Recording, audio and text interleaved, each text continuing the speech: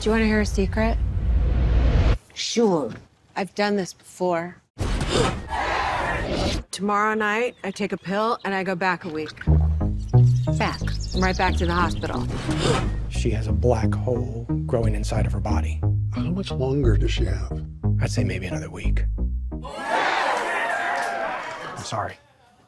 They're watching the game. This has all happened before. Many times before. Your name is Paula Campos. You work in a lab. I'm from the future. I know everything that's gonna happen. How many fingers am I holding up? Three. Now the middle finger. Now your cat's gonna meow. And you're gonna ask me, is this really happening right now? And I'm gonna say, yes, it is.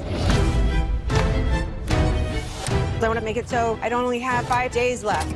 So I have my whole life. I think I know somebody who can help us. An anoscopic man. Let's solve time travel.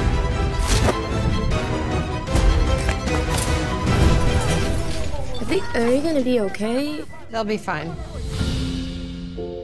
We've tried everything. And still, I can't do it. Do you think there's an alternate timeline where I do go on, where I don't die of a black hole in my chest? Oh, I know there's things I could change. I don't want to risk losing this moment with you. Everything I could have done, all the other versions of me. Have you ever thought about what it's like when you disappear?